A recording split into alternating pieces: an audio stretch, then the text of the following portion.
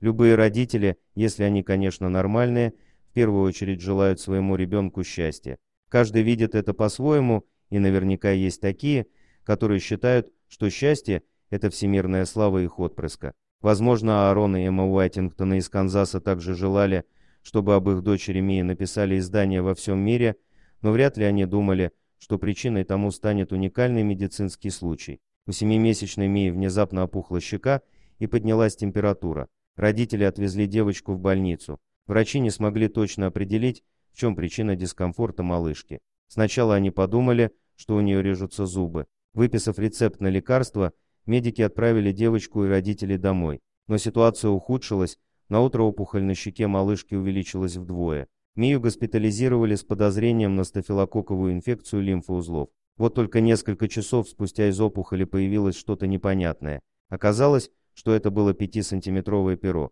Врачи так и не смогли объяснить причину случившегося. Скорее всего, Мия случайно проглотила перо, и оно каким-то образом застряло у нее в горле, после чего организм начал выталкивать инородное тело наружу. Сейчас с девочкой все в порядке.